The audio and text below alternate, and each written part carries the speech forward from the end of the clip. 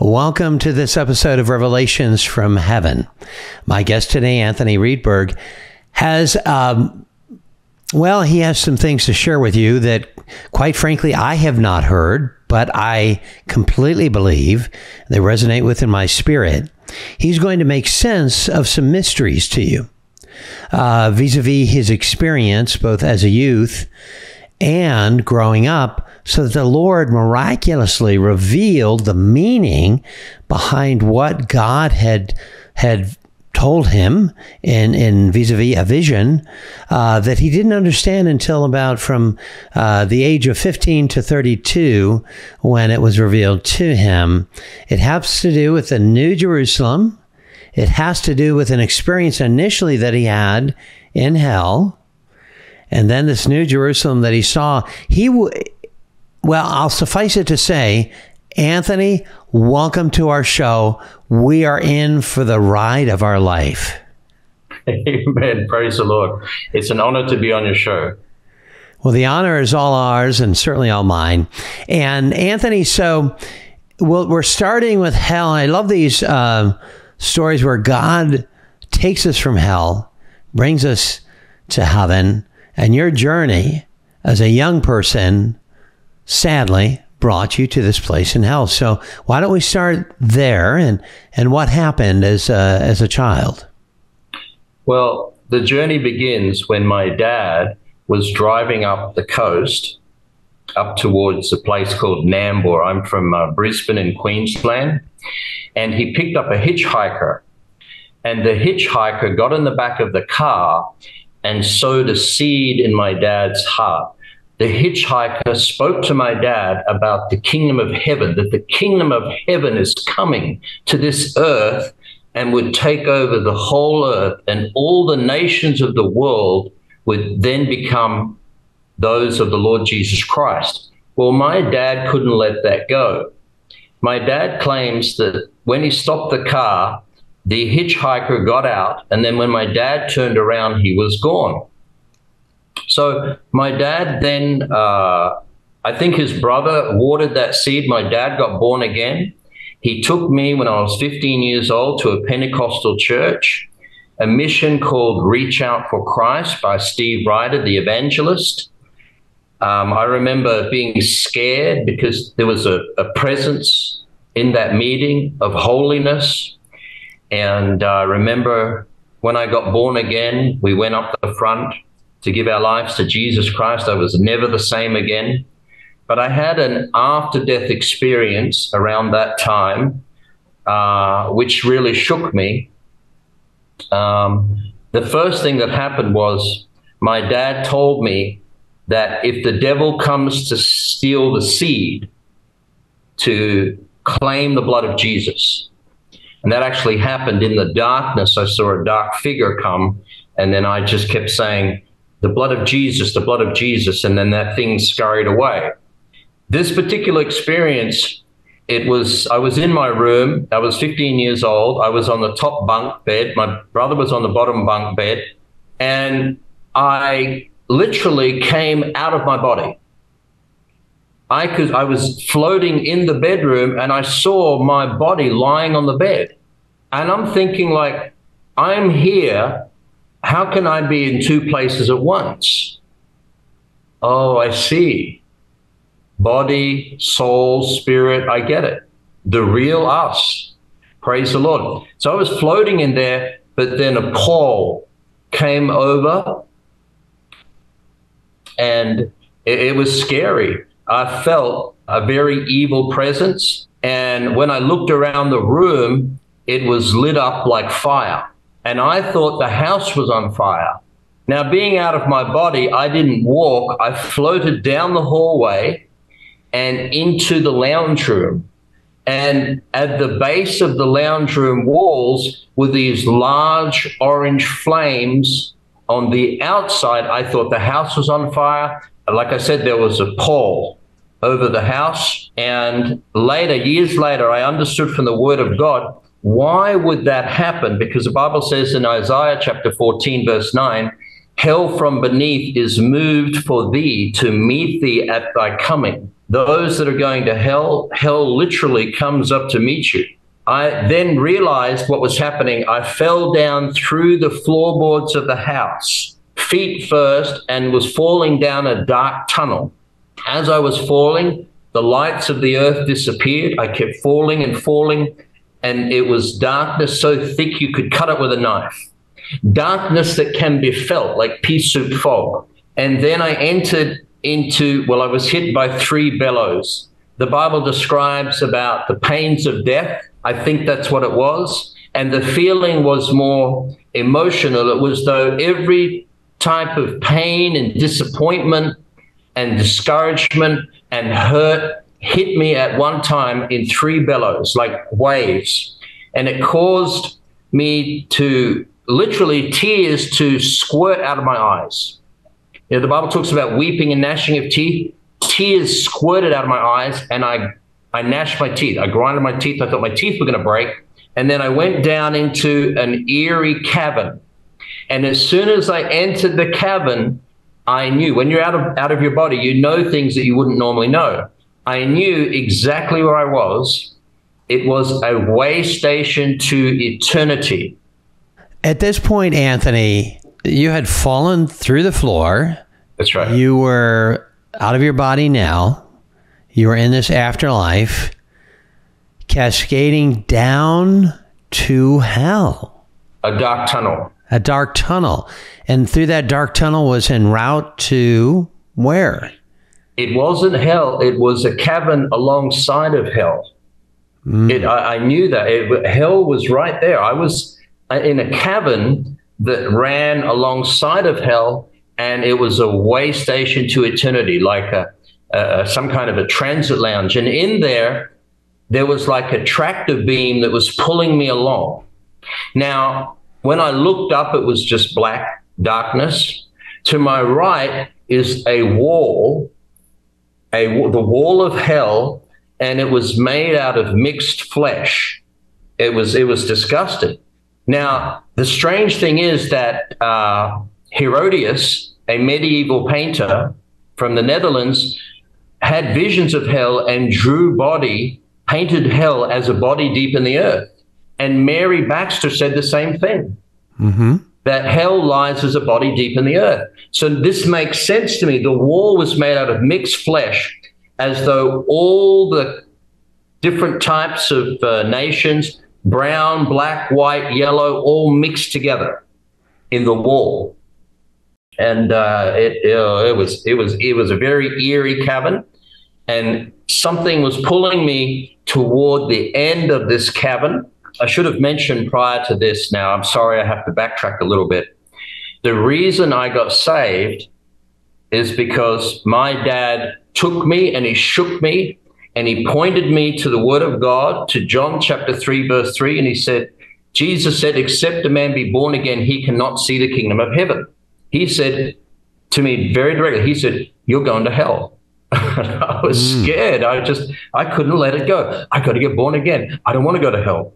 And I kept praying that night, uh, the Our Father and the Hail Mary, because I was raised Catholic. So I didn't know that the second half of the Hail Mary is unscriptural. The first half comes from scriptures, the second half is unscriptural. But the thing is that my heart uh, was open and uh, crying out for God to forgive me. Now we get to this part. Everything that happened to me, I can find scriptures for it. I saw these coming towards now the end of this cavern were these scary shadows. Like, like I couldn't, I, I've never seen anything like that before. These wide shadows, which to look into was a piercing pain into the soul. And, and when I looked into them, again, with the crying, the weeping, and the gnashing of teeth, and the Bible says in Job chapter 38, verse 17, have the gates of death been opened unto thee, or hast thou seen the doors of the shadow of death? And that's exactly what it was. I praise God for this verse. I can put my hand up where it says, Hast thou seen the doors of the shadow of death? I have. That's my testimony. I've seen the doors of the shadow of death. They are movable, they are creepy, they're wide, they look like shadows, and they reflect death. And as far as I know, uh, these must be one of the entrances into hell because I knew that if I went through those shadows, there was no coming back. That they were entrances into hell. And I, yeah. Well, Anthony, I'm just, when you say that, I have heard previously from some who have experienced hell that same phenomena uh, Oh, that they have entered i into whether it be a place of the macabre, but one, uh, Brian Melvin had indicated that this was a deceptive place, that they were trying to showcase it as a kind of a resort of sort. But anyway, both both your uh, account and others that I've heard is that there is some gateway. We we we've heard of the gate the uh, uh, the gates to heaven, Yes. but this is a way station, if you will, yes. to hell that you're describing. Yes. That there That's is a place there.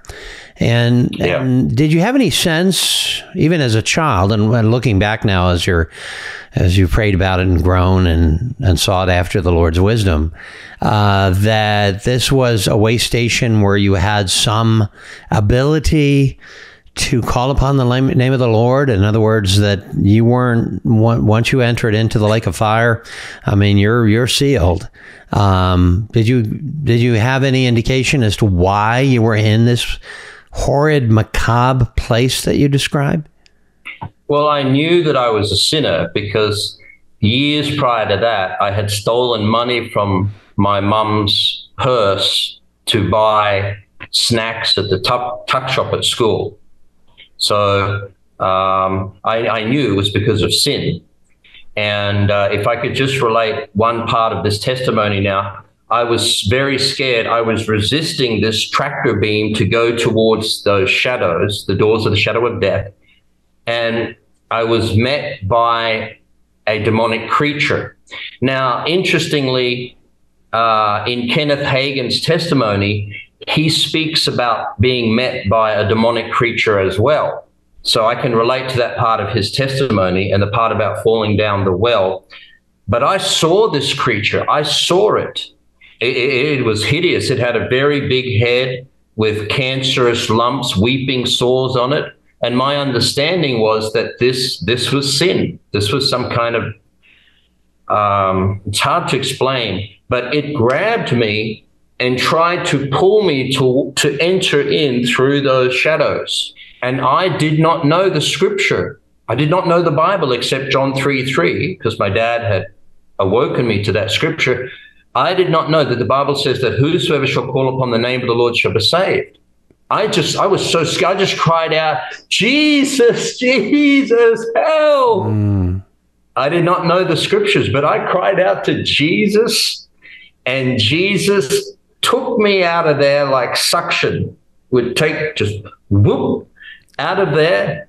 And next thing I, my right hand is on a golden wall, and I'm crying because of the dichotomy, the irony of being in hell and all of a sudden being in heaven in glory. I had my right hand on the golden wall and I couldn't process what had just happened. I was, I was, I was experiencing the terrors of hell. I was about to be taken through the doors of the shadow of death. And now I'm in heaven on the outskirts of heaven with my right hand on a golden wall, a luminescent gold, gold that glows. Hmm. And I'm crying and I cannot process what has just happened, but I just have intense joy and peace and love is just flowing over me. Jesus is speaking to me. Now, I didn't see Jesus. I saw him later on. I'll talk about that. And in heaven, people don't communicate like we do, they speak telepathically. Hmm. So it seemed. So Jesus was speaking to me. I could hear what he was saying. And when I spoke to Jesus, I don't think I was speaking. I was just, you know, you speak from your, your soul, your spirit. And he said, This is a place I've prepared for you. Hmm. I was like, Wow, Jesus has prepared a place for me. I want to be here. Lord, please don't send me back. And I was aware that if I didn't go back, it would be a horrible thing for my family, for my mom and dad, and my younger brother and sister to lose their older brother, their their own their firstborn son. I knew it would be horrible, but I chose to stay in heaven. And Jesus said, No, um, you can't. And I was really upset. I thought, No, Lord, I want to be here. Lord, I want to be here. You've sure you said this is a place you prepared. And Jesus said, No, this will be down on the earth. What? How can this be down on the earth? That doesn't make any sense to me. I'm in heaven. How can heaven be on earth? This is now, a, pl- a point I think that's worthy of a pause, Anthony, because thank you. He is going to tell you, oh, he has told you that what you are beholding will be poured forth on earth. That's right. And, and I didn't. So you had, and another uh, kind of highlight of what you said is very poignant and echoed by others as well who have had this hell experience that have been in this place where they've cried out the name of Jesus and all of a sudden yeah. you're ushered forth. So and there's also a point that, and I'll end with this and turn it back to you that you are, we're at this juxtaposition where he's telling you you're at that, you're at this uh, New Jerusalem, this place, this uh, wall of gold outside of heaven, and and that he is he is telling you essentially that you are now written in the book of life that you have, uh, He's prepared a place for you. Amen. But it's important, I'm sure you would um, support me in this, saying this, Anthony, that those who are watching yeah. this who don't know Jesus as the Lord and Savior, please don't count on the possibility that you will have that second chance. In other words, if you're out carousing right. and all of those things, you may not have that second chance, Amen. right? It's important that's, to know that, right. um, that that he knew Amen. your heart as a child, and and uh, yes, but that's not a given. That we will have each person who does not call upon the name of Jesus Christ, confess Him as Lord and Savior, and uh, yeah. invite Him to become Lord and Lord of your life. Uh, that if you don't do that before you, that heart stops or or you leave this world, Yep. No, you got to be prepared right now. Amen. Yeah. Yeah. I like to say, uh, people say be rapture ready, uh, but I say be death ready. Ah, I like that. be death ready. I like that. Because historically, everybody that was waiting for the rapture, well, they died anyway. So it's better to be death ready. Praise the Lord. Yeah, I, I, I wanted to be there so much and it wasn't until later in life that I read in the Bible, in the book of Revelation, chapter 21, verse 2, uh, John says, And I, John, saw the holy city, the new Jerusalem, coming down from God out of heaven, prepared as a bride adorned for her husband. And when I got an image of that, I realized it's fantastic that that had happened. That I now had this realization that I was on the uh, very, I was on the, my, my mansion was on the wall, literally like a, it was like, I just made it.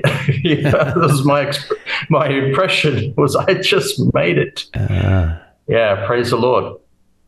And so from there, the Lord took me. Um, I know this part of the testimony sounds very strange, unusual, but the Lord. to the strange part now? Yeah. okay. Well, that tells us a lot. Hang on to your seats. yeah. He, the Lord was, God is big. Jesus was standing or behind the moon, and all I could see was his hair. It was white. And I read in the Bible, in the book of Revelation, chapter 1, verse 14, it said, His head and his hairs were like white wool, as white as snow, and his eyes were as a flame of fire. I didn't see his eyes. I imagine if I did, I probably would have died. I mean, it's just God is so powerful. And Jesus opened up a vision in space and showed me my life of things to come. And I wasn't paying attention because I was admiring the beauty of the earth from the moon. I was captivated by this beautiful luminescent blue marble, like Technicolor. You know, this this would have been back in the in the in the 1970 no, sorry, 1983, and it, it, it was incredible. And I think the Lord was like, "Hey, I'm trying to show you something," and I was looking at the earth, how beautiful it was, and the Lord showed me um, in a vision. Now, I was so excited. I had just gotten born again at a Pentecostal meeting, and I wanted to be just like the evangelist Steve Ryder. I said, I'm going to be an evangelist. I'm going to tell everybody about you. And Jesus said, No, you're not called as an evangelist. And I don't remember what he said, but I remember that whatever it was, I couldn't remember what that was. He, he might have said a pastor, I'm not sure. At the moment, I'm unofficially the assistant pastor of a Thai church in Thailand uh, where I'm here preaching and that's the where gospel. we're broad, you're broadcasting from Thailand right now. That's correct. I'm in uh, north eastern Thailand, 110 miles from the Burmese border, in a village, a Yumian village, a tribal village. Uh, my wife is from the Yumian tribe, and uh, I've been in Thailand now for 20 years, and uh, it's been miraculous. Uh, God's been with us the whole time and leading us and guiding us and correcting us. And so, going back to the vision, the Lord showed me in the vision things that would happen. For example, the first thing He showed me was that I would have a car accident and damage my arm. Now, for the medical personnel out there, this is called a fracture of the medial epicondyle and a compound of the humerus. I'm a former critical care nurse. That was my profession. I knew God gave me that when I was a little boy. My mum and I my mum took me up to visit somebody at the Princess Alexandra Hospital in Brisbane, and I knew back then. I thought this is this is great. I mean, what a I, I knew in my my soul that this would be my career, and I, it was a very blessed career. So I had I saw that I damaged my elbow in the car accident, and that came to pass. Although I didn't understand it until I was 32, and I'll get to that part. And then the Lord showed me the sin I would fall into pornography addiction. I would become addicted to pornography. And I was shocked when I was 15 years old. I'm, no, Lord, no, I would never do that.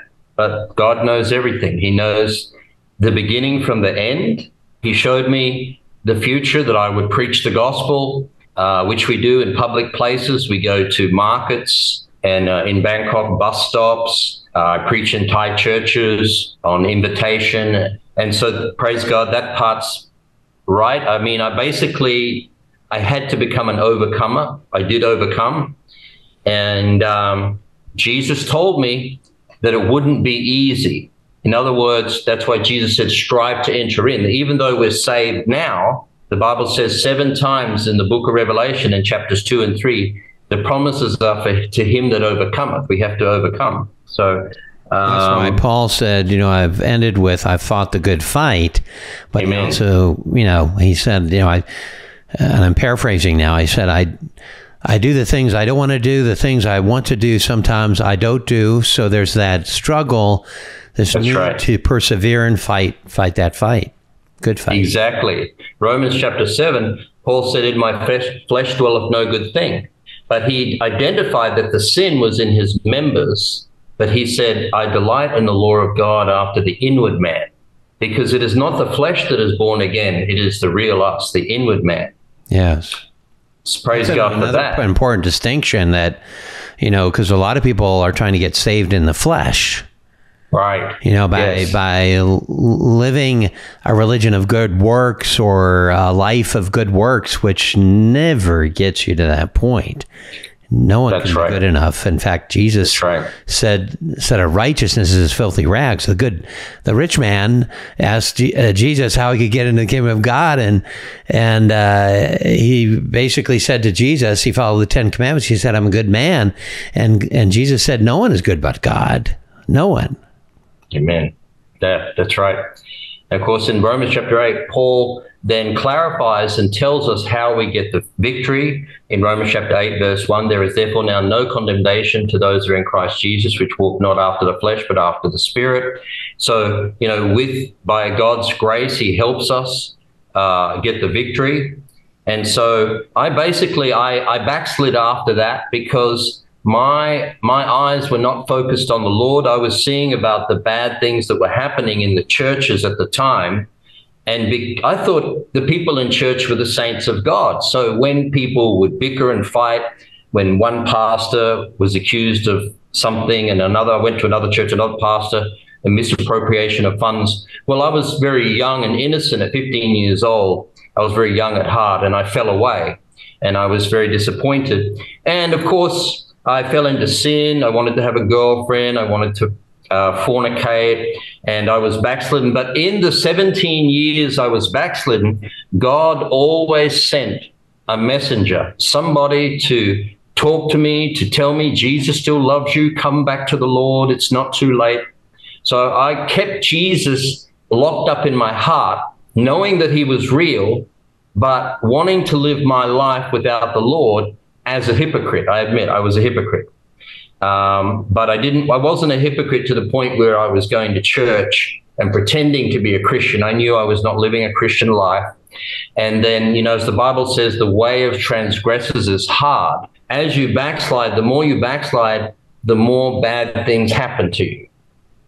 Until one day, uh, things got very bad. I had an accident. I was bleeding out.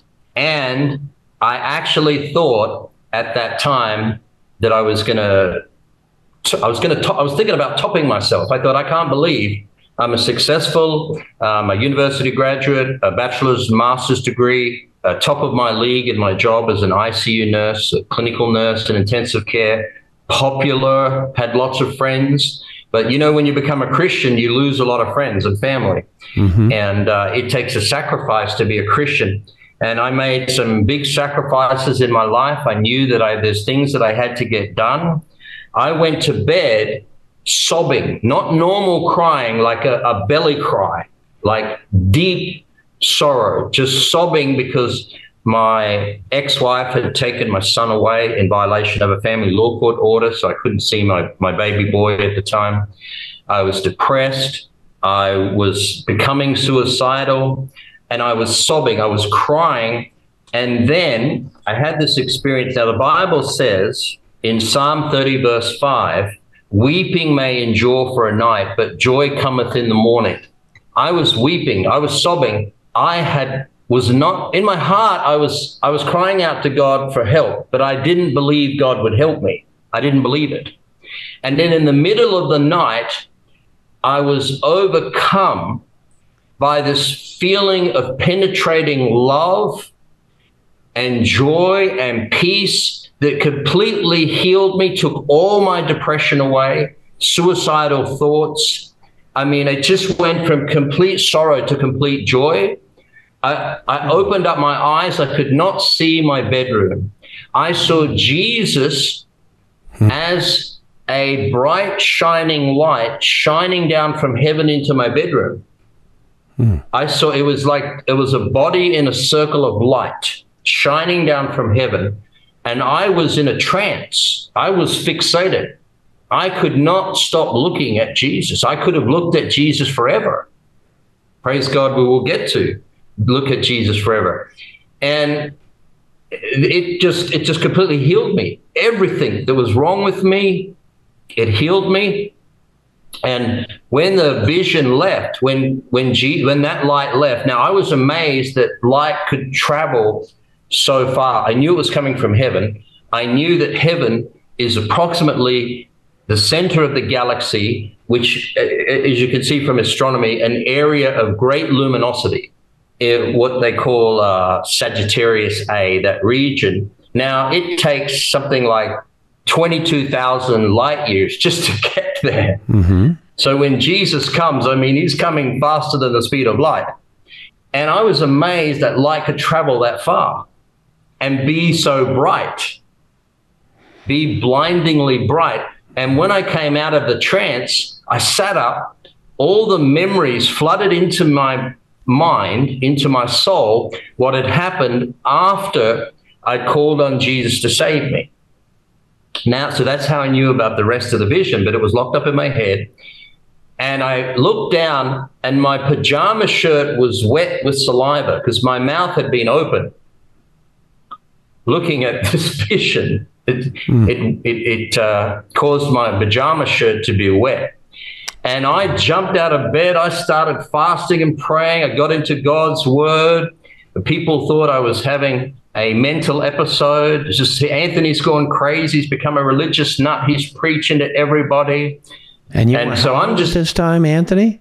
I was 32. 32. When this happened, I went to work. I was in intensive care. I couldn't stand it anymore. I kept preaching to all my patients. A woman was dying. I took a Gideon's Bible. I put it in her hand. She was on the ventilator. She was dying. I prayed for her. Mm. The nurses were looking at me like, "Who? What? How dare you? You know, what are you doing, you fanatic?" The, the relatives were there. They were they were humbled. They they really appreciated that they had a nurse that was praying for their dying mother. And I prayed for her because when this patient, I had this patient was dying on the ventilator. When she was dying, and I see this a lot in intensive care, people that are going to hell, when they actually come out of their body and they go down, it is so shocking that they actually, there's a spring effect. They come back into their body and, ah! and they wake up. And she cried out in agony like I knew that she was going down. So I prayed for her. Lord, have mercy upon her. I believe that even though the body is dying, you know, your, your spirit is awake, wide awake, 24 7. And after that, there was a peace and she passed away peacefully. Mm-hmm. You know, I got it right at the end. And then that made me start to believe even more and more. This is real. We need to be saving souls. We need to be preaching mm-hmm. the gospel. And the hospital, that particular hospital, was working for a nursing agency. They would call me out to work in in different ICUs around Brisbane. They cancelled me. They they thought Anthony's gone crazy. He's a religious nut. They cancelled me. Mm. But I've had many experiences now. Eventually, the Lord uh, led me out. The Lord, um, I said, God, what do you want me to do? The Lord, I was reading the Bible, scriptures were, were jumping out of the Bible. Jesus was saying to me, it was like he was speaking to me through his word. He was saying, Go ye into the highways and the hedges and compel them to come in. Uh, so, so I prayed, I said, God, what do you want me to do? Well, it began, I went to a church at the time. It was called the COC Christian Outreach Center in Mansfield in Brisbane. I was at a meeting and a young lady, an attractive young lady, came and spoke to me. Now, I thought that's unusual. I look like something the cat dragged in. Why would a, a beautiful young lady talk to me? And she said, You know, I've got relatives in Thailand, my uncle and auntie, they're missionaries in Thailand, blah, blah, blah, Thailand, Thailand, Thailand. And I just kept looking at it, thinking, uh, you know, like, what do I do? I'm still in the flesh now. I'm thinking, what do I, should I get a number? You know? and she said to me, you should go to Thailand. Why don't you go to Thailand? And I'm like, me? Go to Thailand? So eventually I kept fasting and praying and I had a vision. God showed me a vision. And in a vision, I crossed a body of water and I saw the Southeast Asian archipelago between Australia and Thailand. Now, I knew about that. My dad had seen that when he was little. My dad was born and raised um, in Indonesia, what they used to call Batavia. He was in a hut and he had come out of his body. He had uh, almost died of malaria and he floated above his body and he'd seen the Southeast Asian archipelago. I just want to throw this in as a side note my dad saw demons floating around the hut, but they couldn't touch him because he was an innocent child. But when the movie Gremlins came out, my dad was like, that's it, that's them. Mm. He said, if you want to know what devils look like, they look like gremlins. Mm. Except, of course, they come in different shapes and sizes. So that was my dad's testimony. So I came to, I saw in a vision that I went to Thailand. Praise the Lord. I had prayed. I had been to the Bible bookstore in my hometown. At the time, it was called the Word Bookstore. And up on the shelf, they had different Bibles up there the ESV, the NIV, the Amplified, the, the uh, I think the Living Translation, the New King James, the King James. I said, Lord, which one is the best? Now, uh, I'm not here, you know, to, as, you know, to I apologize. Do you want to edit this part out, sorry.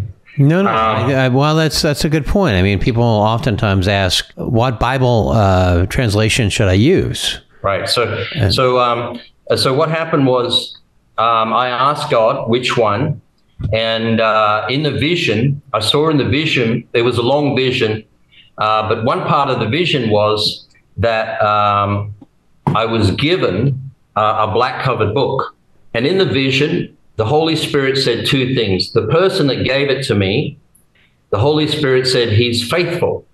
And he happens to be a preacher.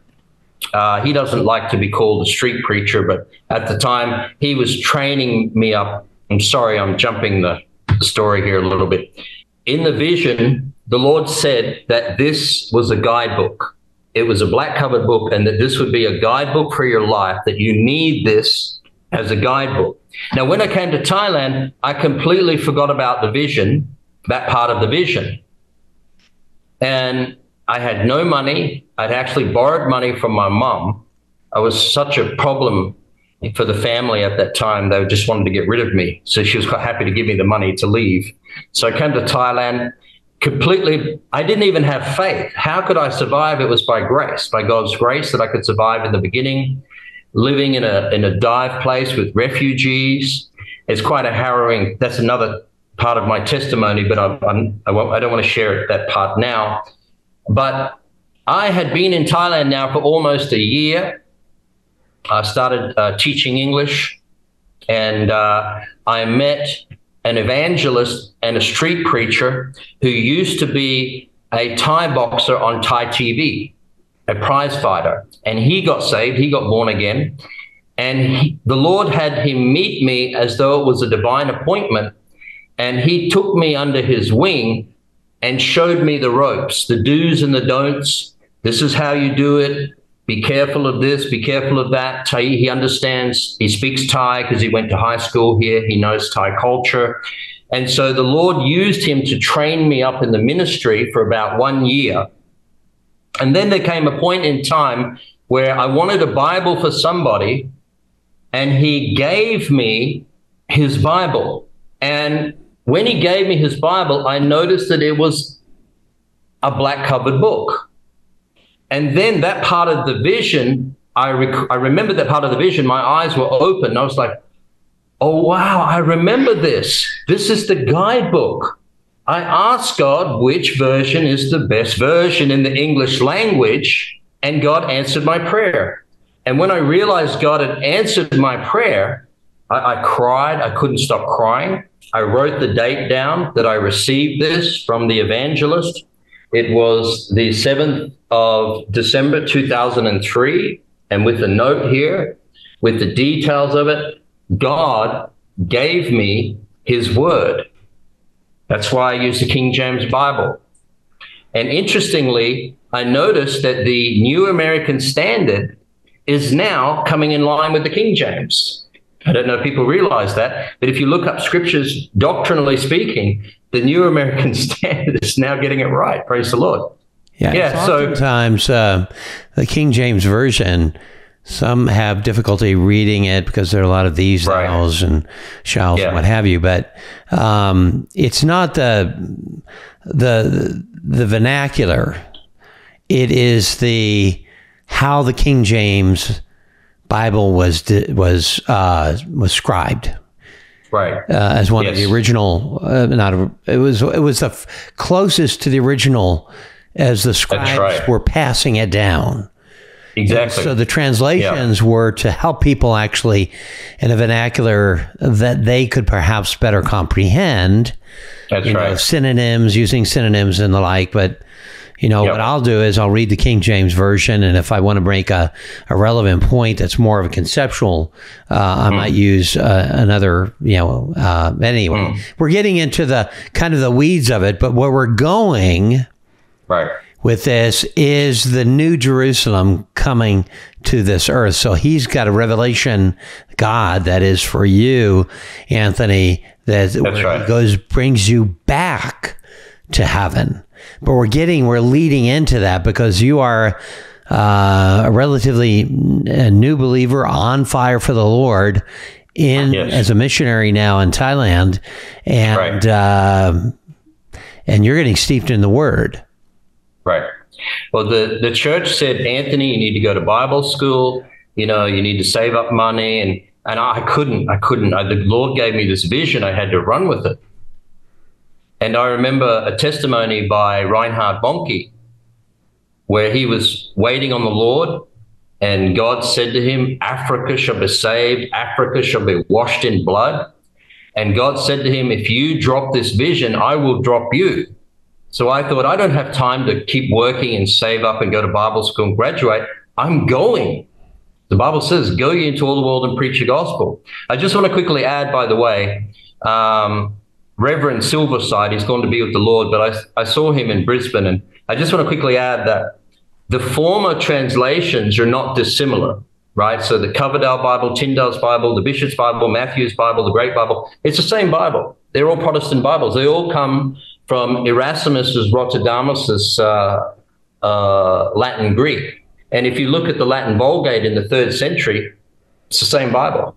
It's that line that is the line which they actually originally called the Antiochian texts, also known as the ecclesiastical texts, the Syrian text, the majority text. There's many names for it, but it's different from the Alexandrian. Anyway, I just wanted to throw that in there to say that this is the this is the vine. Praise the Lord. Um, I came to Thailand. I was like a fish out of water. I didn't have faith. I didn't. I hardly knew the Bible, but God miraculously took care of me. And you know, as a father would raise a child, so to speak. And in the back of my mind now, all the things that had transpired were an encouragement to me. And the reality, and this is the strange thing um, I, I was going to say Brother Randall or Pastor Randall. I'm not sure. Well, uh, my my uh, formal name is is Randolph. Not I don't think, oh. anybody, anybody, probably knows that, but yeah. Oh, sorry, I go by Randy. right. Oh, okay. Sorry. Sorry about that. Sorry. Not at all. Yes. Um. Now I, I lost my thoughts. uh, it, it, been an exciting journey. We were talking um, about the uh, King James and how literal the translation is. And so I think when, when we're thinking about that, our names, you know, Anthony is is a uh, your your birth name, I assume. And anyway, but we're yes. going a little bit tangent, tangentially now. Uh, back to you are deep diving into the Bible, learning as a as a new believer, uh, essentially. Yeah, so what struck me was many Christians that I met back in my hometown when I went back uh, a couple of times. I went back home for different reasons. Uh, they did not, it seemed like they didn't have much understanding of the millennial period, or they could not conceptualize the reality of this enormous heavenly city that's coming onto the earth that towers way above the International Space Station, I think five times higher than the International Space Station, towering into space itself. And I'd had, a, I suppose it was like a flash vision one time. I even saw what it looked like from Thailand. It is breathtaking, the size of this thing.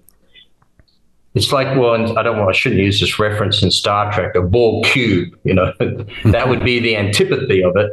But uh, it, it is huge. I mean, have you seen the area? Have pe- Christians don't realize the size of it? It takes up nearly, if you had to, if it came down on the United States of America, it would, it, the, the diameter would cover almost the whole country for size. Yeah. And it's, and there's a misconception when we talk about the New Jerusalem you know, that uh, in heaven that it will be established on earth.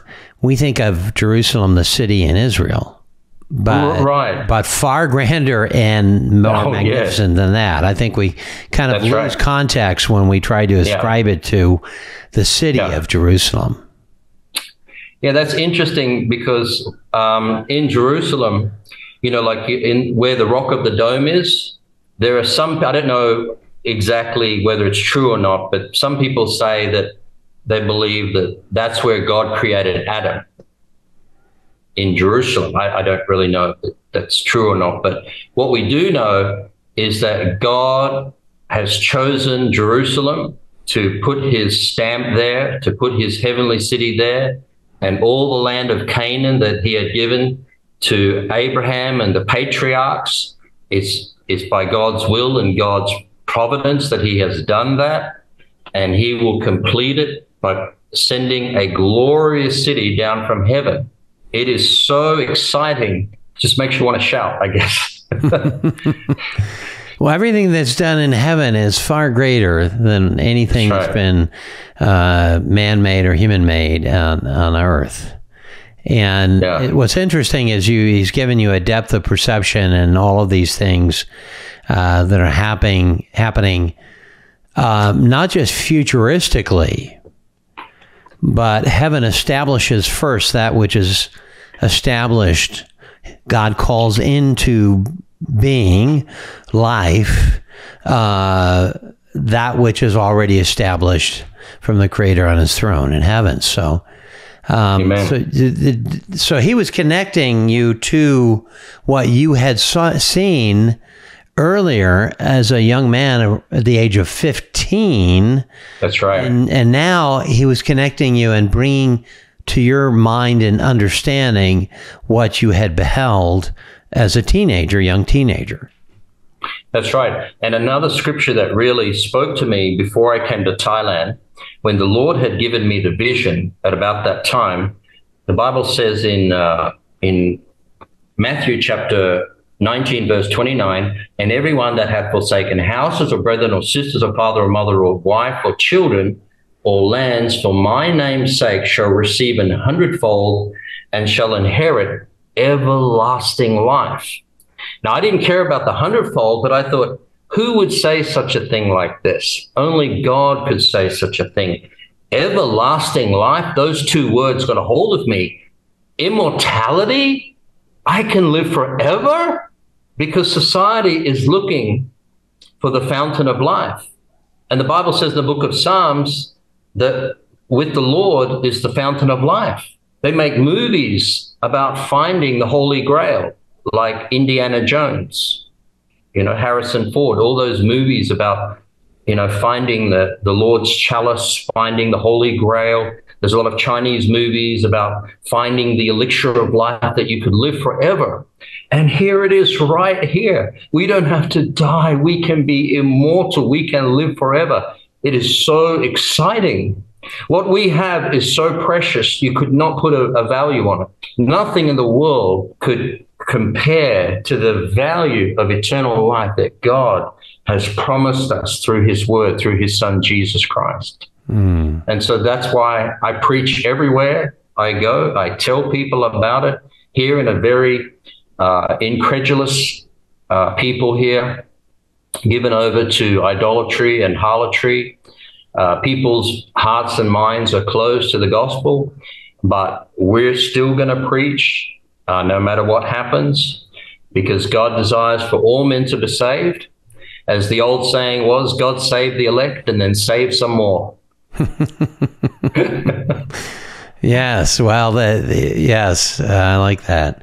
Um, so this is this is both from the Daniel book of Revelation, um, kind of last days, end times, kind of ch- chapters from from or uh, accounts from from those books and Matthew, uh, Ezekiel. Uh, so, did God elucidate to you then, Anthony? the temple that you saw because you went from this story began when you as a child were in this what do, what do we term it now this kind of I called it a way station place to hell that is a, you know yes. before hell this place and there were you know skins hanging on the wall and you you reference the scriptures that actually uh, talk about that that appearance, right. literally. Right. Um, so we've gone from that macabre uh, view in hell to now we're at the golden walls of heaven yeah. the, the New Jerusalem, the celestial city, which is also referenced in the Bible as right. the you know the New Jerusalem, the temple uh, in in heaven, being poured forth on earth. So, any elucidation from the Lord as to why He had revealed this to you, and any correlation with any of the end time events within the Bible. Well, I believe that the Lord showed me this to encourage me as an encouragement because I had my right hand on the wall of the mansion that the Lord had prepared for me. And I asked the Lord, Are there others here? He said, Yes, you can join them later. And looking up, it's like a, an incline. The streets of heaven are made of gold, illuminescent gold. There were other mansions far more majestic. So my understanding is that uh, there are rewards in heaven and that there are people that are, you know, have greater mansions in heaven, I suppose. And, um, and that uh, this is fantastic. I mean, it puts new meaning to, you know, the kingdom of heaven is coming. It literally is. The kingdom of heaven is literally coming down onto this planet. Yeah, and there and and the, the Bible talks about an, an, a new earth, right? A new uh, heaven and a new earth. So the establishment yeah. of that cel- that not celestial city so much as the what the Bible references is the shining city on the hill, right? Um, the shining city being that which is established in heaven. Now, um, we've had a former president who called America the shining city on the hill. uh, you know that that's not quite accurate in terms of the Bible uh, description of, of that, which is a uh, which is a celestial city.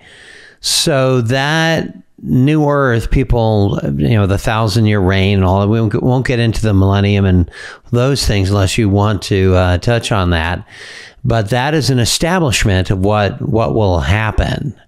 Um, and so he was showing this to you the mansions. I know people get sometimes fixated on, well, I, I want a Palace of Versailles, trade in my, you know, my rundown apartment for the Palace of Versailles. But, you know, anything in heaven that's created is greater than anything on earth. Let's put it that Amen. way. Right? Amen.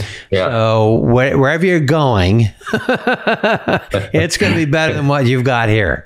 Um, yeah. No matter how, how, how big your mansion is. However, you talked about something of of, of works and rewards, not of, apart from salvation.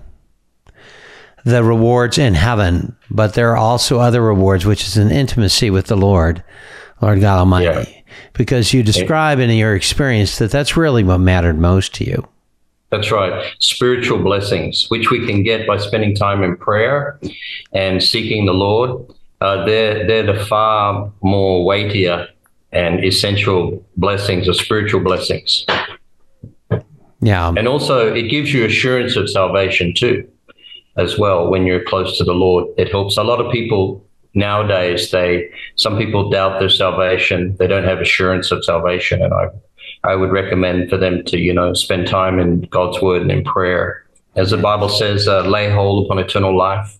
It is, it is, as you said, you know, fight the good fight of faith.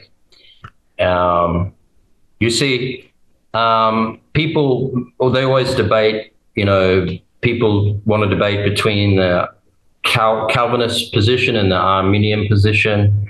And, uh, you know, the truth is that the Bible says we're saved by grace through faith and not of works, lest any man should boast. But notice you have to have faith in order to have grace. Mm-hmm. So faith cometh by hearing, and hearing by the word of God. So it is the good word of God, the seed, which is planted in the heart, which then brings forth fruit. One one waters, one plants, another waters, but God gives the increase.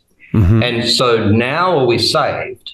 As the Bible says, work out your salvation with fear and trembling. Once we're saved, God has a plan for our life. He has something that we need to find out. What does God want us to do? Exactly. And in my case, God was leading me to forsake everything. And the easy part was I didn't have much to forsake.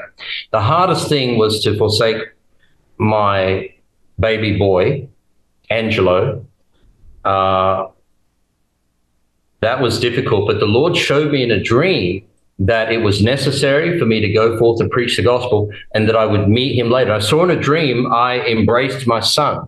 And that came true. I saw my son finally when he was growing up, about 13 years old. Just as I saw in the dream, I met my son and I gave him a hug. So God has a plan. And for me to be saved, because the Bible says, not everyone that saith that be Lord, Lord, shall enter the kingdom of heaven, but he that doeth the will of my Father which is in heaven. God's will for my life is to be here. I don't actually don't like living here. It's very hot. There's many mosquitoes, scorpions, and centipedes, and uh, there's persecution and that. So the flesh doesn't like it. But you know, as I say, little suffering is good for the soul. But this is what this is God's will for me. God's will was for me to forsake everything, to come here, to live in the middle of nowhere, on the backdrop of these hills, which is just all jungle and bush, and preach the gospel in the highways and the hedges, which is what we do. And although we've only seen a little fruit, in time, that seed that's been planted will be watered and more fruit will come. And in fact, I'm preaching over an area of over 3,000 square miles in an area in northeastern Thailand. It's called Gampang province. I'm the only one. I have seen nobody else out there except one missionary. Uh, I think he's from California. He's the only other missionary I've met. Now, I don't call myself a missionary because I wasn't sent by a church. I came independently. I've always supported myself. And then after leaving my job, uh, eventually I got a job as a science teacher uh, working at Assumption College. When I left that, the Lord showed me that I could live by faith. And miraculously, God has been supplying my need. As the Bible says, My God shall supply all of your need according to his riches and glory by Christ Jesus. We live by faith. Mm-hmm. Even though my wife only earns 300 US dollars a month working for the village church, and yet we receive miraculously God it's like, you know, the ravens, God just sends blessings coming through. So it's been a, a miraculous journey. It's been a supernatural, spiritual journey the whole time. It is exciting. And um, yeah, I'm, every day is a blessing. Mm. Well, you reflect uh, his presence, Anthony, and thank you. God bless you. And we pray for uh, your continued uh, blessings and anointings in uh, Thailand there that uh, all uh, with whom you meet would be saved, healed, and they would sense the outpouring of the Holy Spirit as. And uh, so we pray for also plead the blood of Jesus Christ over you, your wife, and uh, those uh, that are your adopted family there around you in uh, in Thailand and uh, over your son as well. Um, so as as we draw this to a conclusion, Anthony, and this has been a tremendous blessing. We started in in hell. Yeah. Uh, and then uh, post your near death experience, there is now you are in full time uh, ministry. But That's I right. want to just express one caveat for those who are viewing this. Each of you is in full time ministry too, wherever Amen. you're at. You know, Yep. whether you're Yep. in a penthouse in uh, and wherever New York City, or whether you're in the farmlands of uh, you know Thailand, you're drafted as a believer in Jesus Christ. So Amen. we want to invite those who do not have that personal relationship with Jesus, and you're thinking, I don't know if I'm saved or not. Well, when you're saved, you know you're saved because Amen. you just have that confirming, uh, aff- uh, the affirming understanding that you have a now uh, our closeness to the Lord. You are truly born again. So if you haven't, uh, we invite you to pray. Uh, Jesus went, uh, he went to the cross of his own volition. Um, yes, he was sentenced, but he could have called legions of angels. And so Yeah. you know you've sinned.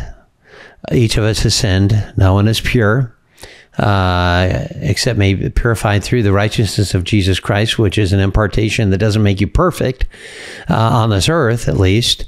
Uh, but by with a contrite heart, that is one of surrender, one of acknowledgement and true repentance by saying something Yep. to the effect of, Lord, you know, I have sinned, I've fallen short. And I, I need you desperately.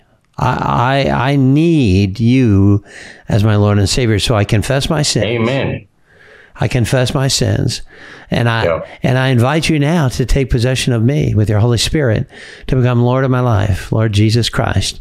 You are my Lord, my God, my everything at this point, and so guide Yeah. me with your Holy Spirit all the days of my walk, life. So so that's the walk of Christ now. When you're born anew through Christ, as as uh, you had referenced, Anthony. So I'm going to leave it now uh, to you with any parting words or any additions or clarifications of your story, and then I'm going to invite you uh, to pray for our audience. Okay, thank you. It's been an honor. Um, I have been watching your show, uh, quite a few testimonies over the years, so I was quite taken back when I got the opportunity to share here on, because everybody I know uh, has heard of uh, Randy Kay, your channel. And so people back in Australia, they're very excited when I said that I that uh, Randy Kay is going to interview me. Praise the Lord. So it's been a tremendous honor. I just wanted to say nowadays people bag the sinner's prayer, but for me, it was a very special time in my life answering the altar call and saying the sinner's prayer. I think it's a great start. Um, when I said the sinner's prayer, because I believed it in my heart, I believe I was I knew I was born again because I sprung out of bed the next day. I was a completely different person because I believed what I said. So I don't take sides when people want to bag the sinner's prayer. I think it's a great start. If people want to get born again, yes, they should say they should say the sinner's prayer.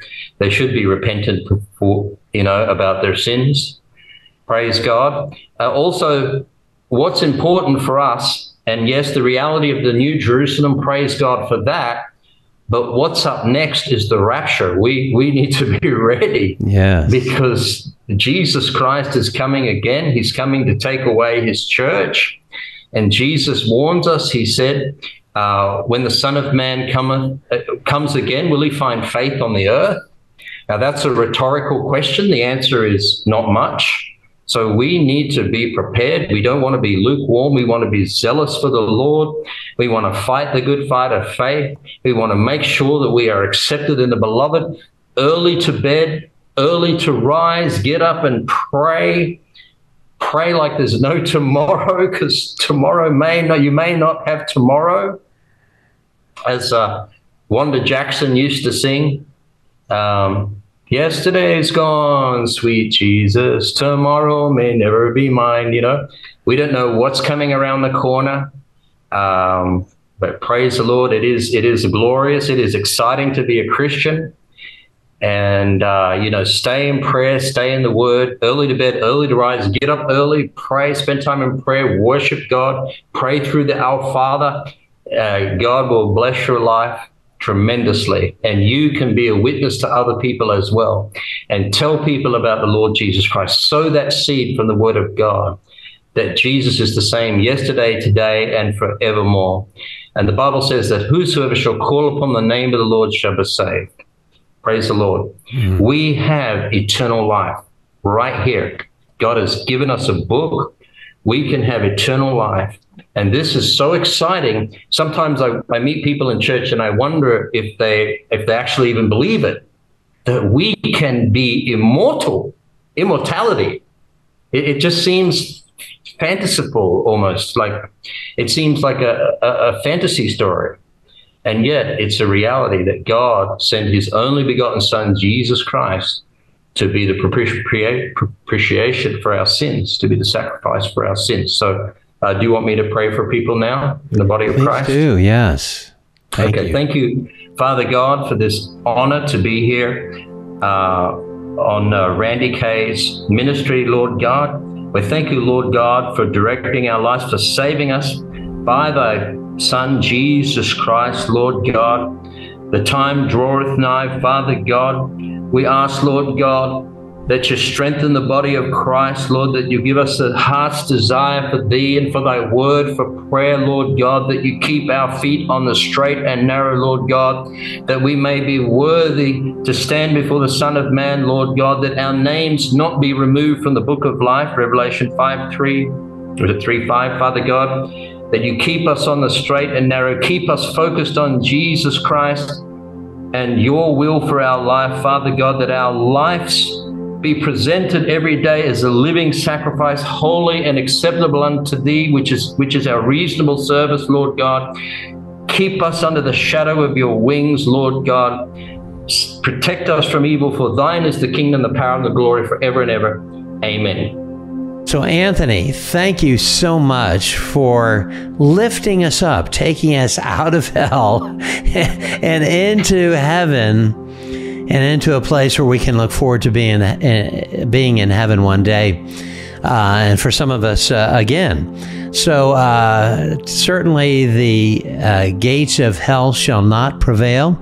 And, Amen. Uh, and those of you who are indeed in Christ Jesus, we have some great news. Be of good cheer because heaven is in your future. Take care. Amen. Praise the Lord. Bless. It's been an honor. God bless you too. Thank you. Thank you. Thanks for listening. Please like and subscribe. And if you'd like further information, go to our website at randykay.org, where our mission is simple to share the great news of God's love.